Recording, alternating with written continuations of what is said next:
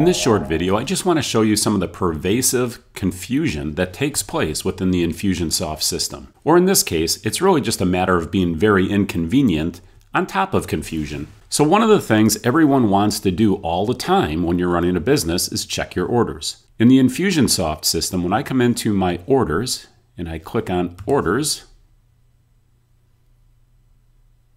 first I wait and wait and there it goes. But now I don't see my orders. Where are my orders? I can search for them, but I don't see them. I can put in all this different criteria. But really, what I'm most interested in on a day to day basis is what did I sell today? Or what did I sell yesterday? That's really the primary thing on my mind. In this case, I have to hit the search button again, and it pulls up my orders. But I want you to notice that it pulls them up in the reverse order. I don't care about what happened in 2012.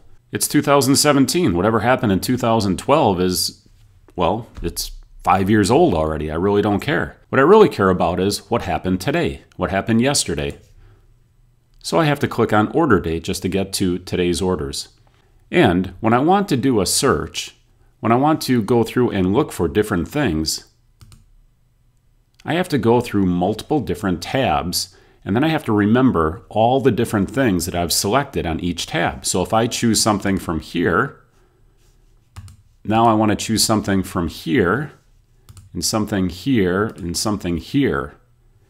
Well, how do I remember what I did on each of these tabs? It's just very inconvenient. And this is what I mean by a pervasive, non-user friendly mentality and not really thinking through how do we reduce the number of clicks that I have to transact each and every day just to cover the basics of what I'm concerned about in my business? And obviously, I'm going to be checking orders probably more than once a day.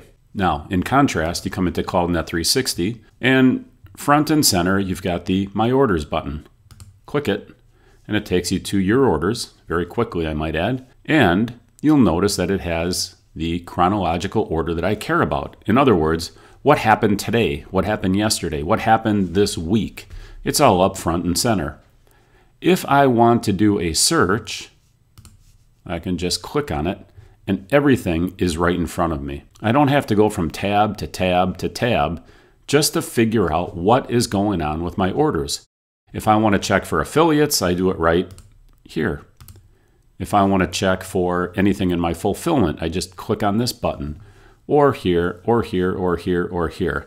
My main point is everything is where you need it, it's right up front and center, and it's what you care about with the least amount of clicks so you can get on to selling more faster with CloudNet 360.